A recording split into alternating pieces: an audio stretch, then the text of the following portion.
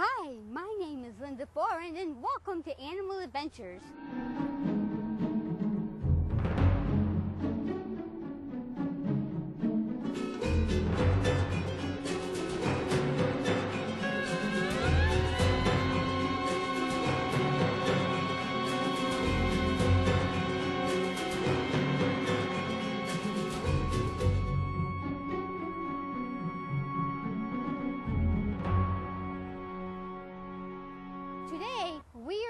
The Roger Williams Park Zoo. There are many interesting animals here from all over the world that are fun to come and see, and also a couple of new exhibits and new animals to take a look at. So come with me and come to the Roger Williams Park Zoo and get to learn all about animals from all over the world.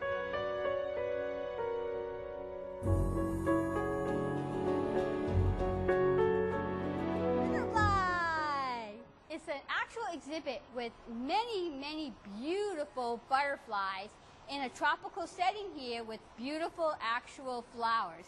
And I'm here with Tim. And Tim, can you explain what you do here at the zoo? Well, I'm the Deputy Director for Animal Programs, so I oversee all of the animal programs, including the butterfly exhibit. Uh huh. And when did the butterfly exhibit open? We opened uh, just before Memorial Day uh, Uh-huh. this year. It'll be a seasonal exhibit. It'll run essentially through Labor Day, and we'll bring Oh, it back okay. again probably next year. Uh huh. And then, um, how do you maintain this exhibit? Well, this the whole project was done just with, with zoo staff, including building the greenhouse. Uh, Uh-huh. Our horticulture crew did a wonderful job putting uh, all of the live plants together. Plants are selected uh, based on their ability to provide nectar for the butterflies. So they're, what you're looking at, Uh-huh. all the beautiful flowers are actually food sources for all of the live animals in here. Uh-huh. And uh, we go through all day long, making sure that the plants are in good shape, watering, uh, removing any, any dead blossoms and things like that so the flowers continue to bloom. Uh, we look for um, uh, butterflies that, that um, have, have uh, died over the course of the last, they have a very short lifespan, so we remove any of uh, the animals that have died. Okay. Um, and we also bring in um, new butterflies every week. Uh, we get shipments in from uh, butterfly producers as uh, chrysalids. And Right. we have the, the, the chrysalis display over here where the animals are, are actually pinned um, on cork boards and they gradually emerge. People can watch that process happen. And when they emerge into um, adult butterflies, then we release them out into the main room.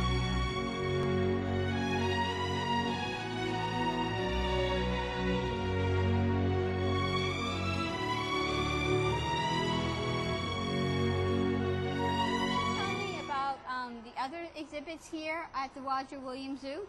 Well, of course, we've, we have all of the, um, the wonderful exhibits that we've had for many years, our elephants and our giraffe and um, our moon bears and our snow leopards. But new for this year, we've, uh, we brought in red panda on our Uh-huh. Marco Polo Trail. And we've brought... A red panda? red panda, beautiful, Oh, beautiful little animal, yes. Uh-huh. Um, we also have a new Patagonian cavy exhibit, a large South American rodent, and he's uh, living right next door to our South American penguins. oh, okay. Uh, we also have uh, two beautiful new birds, wrinkled hornbills, um, that are over um, near the uh, Marco Polo Trail. okay. Uh, beautiful birds, great big, brightly colored uh, bills uh, from Southeast Asia. We're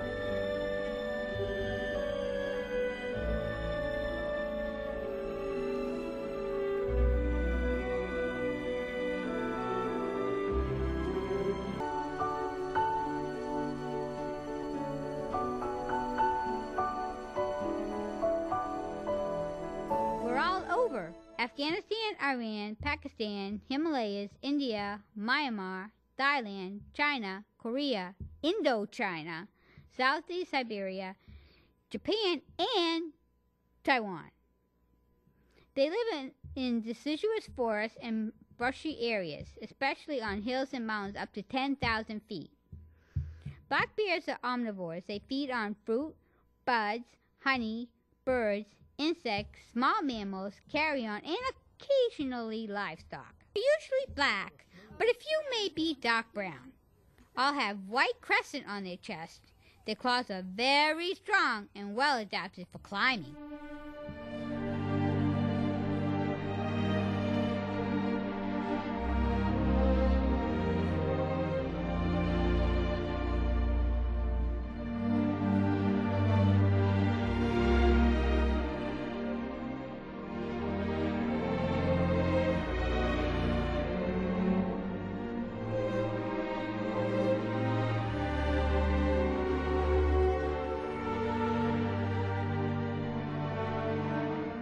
Classify the red panda.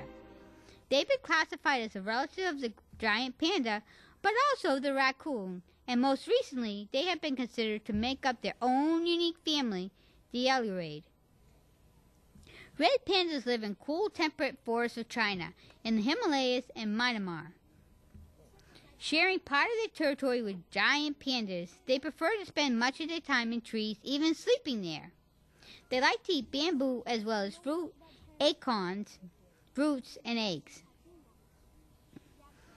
Red pandas resemble raccoons and are much smaller than their giant panda cousins. Except for during the mating season and for months with young, red pandas are generally solitary animals. Gestation is about 134 days.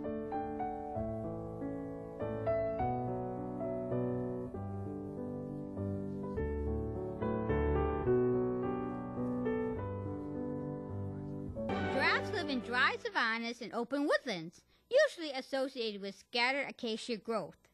They concentrate near rivers during the dry season, but scatter widely in deciduous woodlands during the rainy season. These animals are browsers, plucking leaves, buds, and fruits from trees such as acacia, mimosa, and wild apricot. By spreading their forelegs and extending them forward, giraffes can collect some food, such as fallen fruit and grasses, from the ground. Giraffes drink only occasionally if water is available. When unavailable, they can survive for several weeks without drinking. Giraffes with their extremely long necks have a higher blood pressure than any other land animal. This high pressure is needed to force the blood up their long neck to their brain. To maintain the pressure, a giraffe heart is two feet long, weighs 25 pounds, and has walls three inches thick. The tallest giraffe on record lived in London Zoo, attaining a height of 20 feet.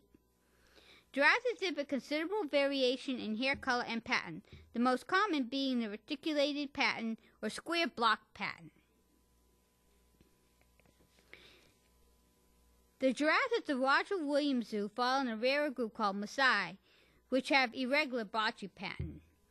Full size is usually attained in five years for males and seven years for females. In the wild, giraffes live about 26 years. The record age occurred in captivity 36 years and two months.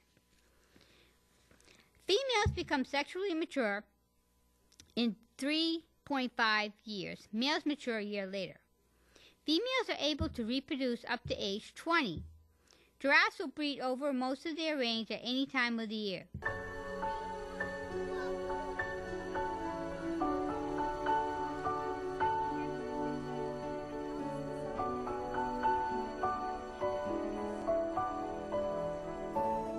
Patagonian cavy.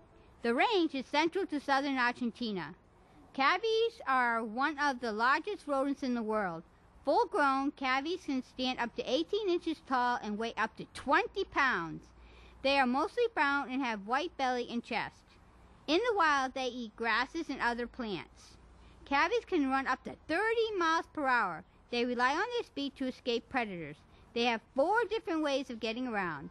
They can walk, hop, gallop, or bounce. They form lifelong bonds with their mates. The male will protect the female and the territory around her. Cavies usually travel in large groups of up to 30 or more pairs, and the lifespan is 10 years in captivity. Populations are declining due to habitat destruction.